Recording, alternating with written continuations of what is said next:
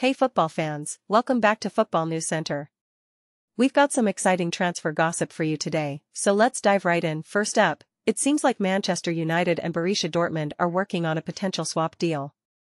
The deal would see Jadon Sancho returning to the Bundesliga club, while Donyell Malen would head in the opposite direction to join Manchester United. This could be a big move for both clubs.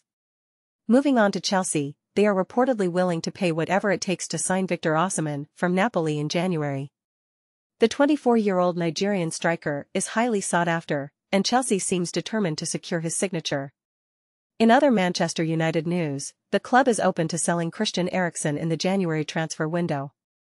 The 31-year-old Denmark midfielder could be on the move, and it will be interesting to see where he ends up. Both Manchester United and Liverpool have set their sights on Fulham's Portugal midfielder, Joao Palhinha.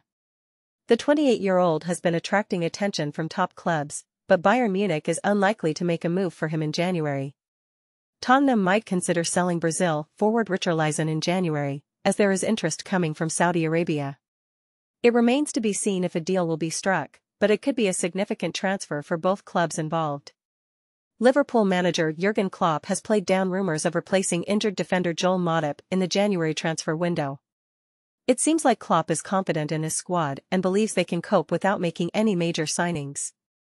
In other news, former Wolves boss Julen Lopetegui is open to taking over as Nottingham Forest manager. Lopetegui recently rejected an offer from a Saudi Arabian side and could be eyeing a return to English football. Aston Villa's French midfielder Morgan Sanson is looking to make his loan move to OGC Nice permanent. The 29-year-old has impressed during his loan spell and wants to secure a long-term deal.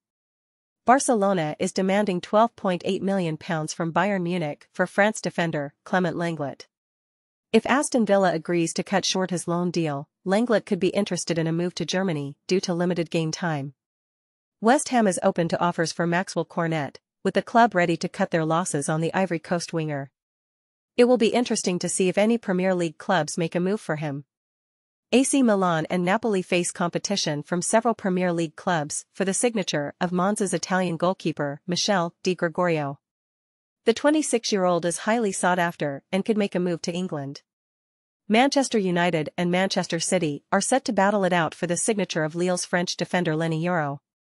The 18-year-old is highly rated and could be a future star for either club. And finally, Newcastle United sporting director Dan Ashworth is a target for Manchester United to head up their new footballing department. This could be a significant appointment for Manchester United as they look to strengthen their structure. That's all for today's transfer gossip, but make sure to stay tuned to Football News Center for all the latest updates.